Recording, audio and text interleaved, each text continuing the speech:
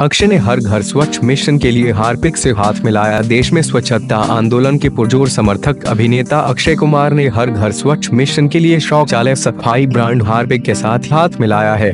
Harpic ने सोमवार को अक्षय को अपना ब्रांड एम्बेसडर घोषित किया।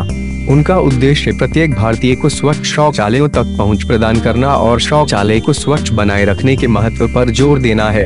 फ़िल्म टॉयलेट एक प्रेम कथा के अभिनेता ने कहा कि लोगों को अपने शौचालयों को साफ़ और स्वच्छ रखने की आवश्यकता है और इसके प्रति लोगों को जागरूक बनाने की ज़रूरत है। अक्षय ने अपने बयान में कहा, हर घर स्वच्छ मिशन के लिए हार्पिक से जुड़कर मैं खुश हूँ।